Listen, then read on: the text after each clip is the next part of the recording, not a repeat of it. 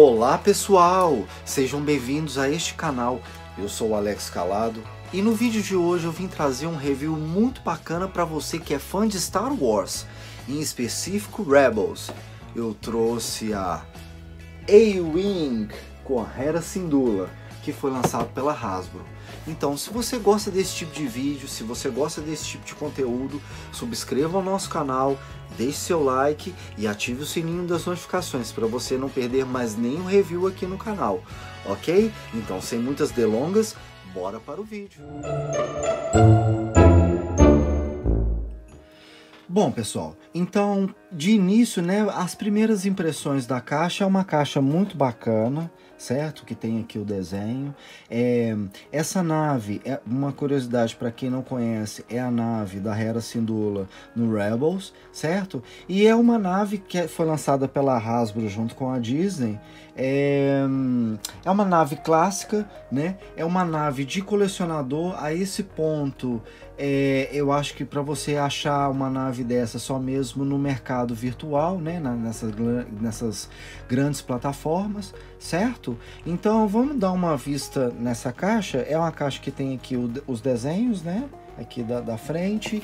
Depois aqui do lado tem ela, linda, bacana, a Hera Syndulla. Amo de paixão essa personagem. E aqui atrás nós temos, né? É, algumas descrições e vem mostrando né, que ela atira alguns torpedos aqui. Né? É uma nave que não tem muitos recursos igual a Millennium Falcon. Futuramente eu vou trazer o review da Millennium Falcon para vocês, certo? É, então vamos fazer o seguinte, vamos fazer o unboxing. Pessoal, e com ele já fora da caixa, né, a outra embalagem, então nós temos aqui, eu vou mostrar para vocês, vem aqui a figura da Hera Syndulla,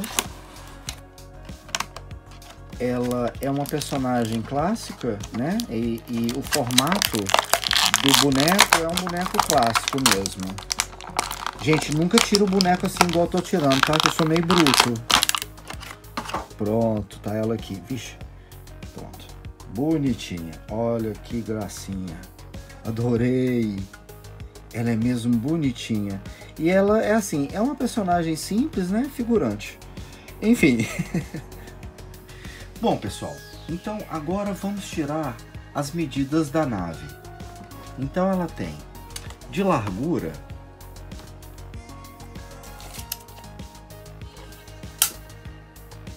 ela tem 20 centímetros de largura e de comprimento ela tem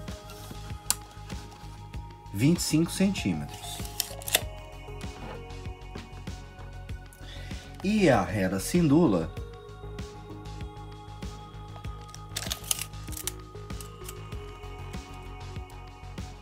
tem 9 centímetros. Pessoal, a Hera Syndulla, ela tem aqui um capacete que ela não, é, acho que o capacete não solta, não, é colado é, no meio, então o capacetezinho dela não solta. Mas, e ela tem uma, duas, três, quatro, cinco articulações: pernas, braços e cabeça, certo? É, agora vamos dar uma olhadinha nela aqui, a, na roupa dela, né?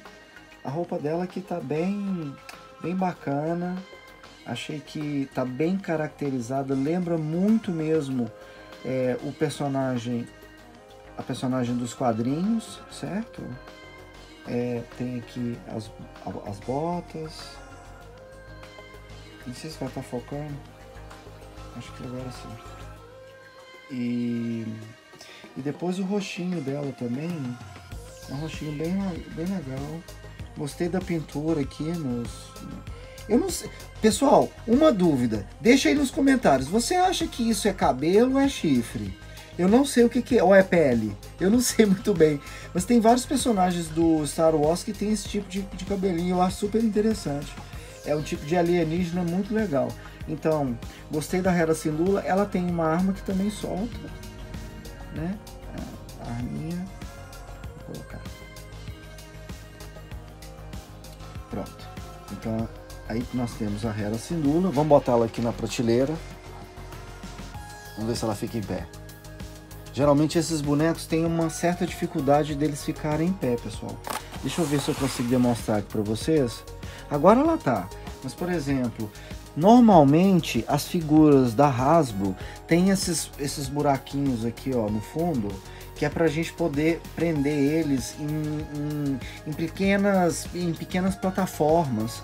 É, é, é, um pouco maior do que uma moeda, certo? É, umas plataformas acrílicas, é, é um chamado de display, né? Para eles ficarem em pé que fica mais fácil, porque normalmente eles caem. Vou deixá-la aqui de lado e vamos passar para a nave. Bom, pessoal, então com a nave em mãos, vamos analisar né, a aeronave. É uma, uma aeronave muito bem pintada, lembra muito mesmo, muito bem caracterizada é, Star Wars, com essas, essas faixas aqui que lembra né, uma parte mais retrô do, do Star Wars. A cor da nave também é uma cor muito bacana, é um, fica entre um bege assim, acinzentado e depois tem a parte cinza aqui do lado das asas, né? Aqui na parte de trás você tem aqui né, um cobre aqui no, no na, na, turbina traseira, né? Aqui a parte onde aparece mesmo as, as, as duas turbinas, certo? É uma nave muito bacaninha mesmo, mas é uma nave de exposição. Ela não tem nenhum tipo de som, é... E o único movimento que ela faz, na verdade, é o movimento de disparo, que quando você coloca aqui o, o torpedo, você encaixa o torpedo aqui, você tira daqui de baixo o torpedo, encaixa, empurra essa parte para baixo. Como é que é? Aqui, você empurra aqui, ela armou, e aí você simplesmente aqui na parte de cima tem esse botão, você aperta e dispara. Vou tentar fazer de novo, tá pessoal? Porque foi muito rápido. Pronto, vou botar a mão aqui para vocês verem. Pronto. Vou botar o outro. Vamos de novo.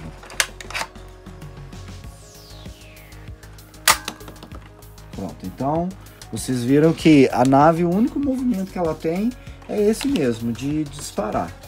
Então agora aqui eu vou encaixar os torpedos aqui embaixo, que a gente não precisa deles agora, certo?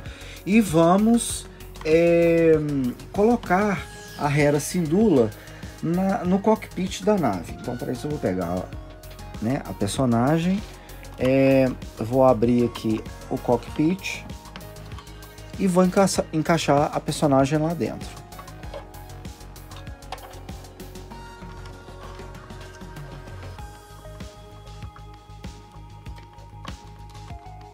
Pronto. E agora é só fechar. O bacana dessas naves do Star Wars e, e é que você consegue expor com o personagem lá dentro ou com o personagem sentado. Eu, eu quando eu vou expor geralmente as, as minhas peças aqui em casa, eu geralmente de, gosto de deixar o, as personagens com algum tipo de movimento. O que essa daqui é um pouco difícil, porque ela não faz muito movimento ela, ela é mesmo só uma action figure mais figurante mesmo.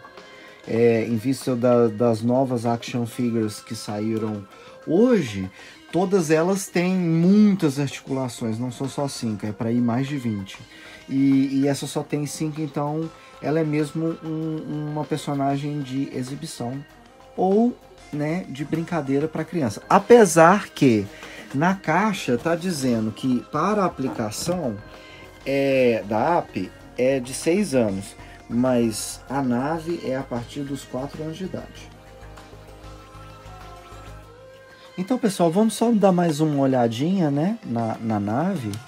É, eu vou mostrar aqui para vocês o cockpit da nave, como é que é o cockpit, onde a personagem senta, certo? É um cockpit bem legal, espaçoso, inclusive cabe até personagens maiores, não só porque como a linha vintage ela é uma personagem, é, a linha vintage do, do Star Wars, são personagens mais robustos. Eu não tenho nenhum aqui agora, pessoal, para poder mostrar para vocês, mas eu prometo que, que quem conhece, quem tá vendo o review sabe que essas personagens do Rebels, como elas são muito bem caracterizadas é, da série, ela é uma personagem mais esguinha, mais magrinha, né? Mais fininha. E a linha vintage é uma linha mais larga, os personagens são mais robustos, mais fortes. Então, isso quer dizer que cabe aqui dentro da nave também os personagens vintage, ok? E, e aqui a parte de cima, a tampa tem um acrílico, certo? Dá para você ver, tem transparência. Mas é uma nave é, mesmo de, de exibição. É uma para quem coleciona é só mesmo de exibição. Ela não é uma nave que tem muitos recursos, ok? Bom, pessoal, e para uma última né, visão geral, né, eu trouxe aqui a TIE Fighter, que eu já trouxe até review dela aqui no canal, só para vocês terem uma comparação do tamanho da nave para TIE Fighter.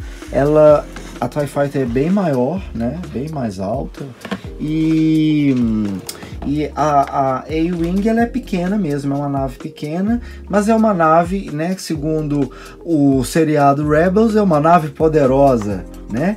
Então, pessoal, é isso. Eu vou ficando por aqui. Se você gostou do vídeo, deixe seu like, subscreva o nosso canal e ative o sininho das notificações, porque isso contribui muito para a gente continuar trazendo conteúdos bacanas e interessantes para você aqui nesse canal tá certo? Eu vou ficando por aqui, um abraço e te vejo no próximo vídeo.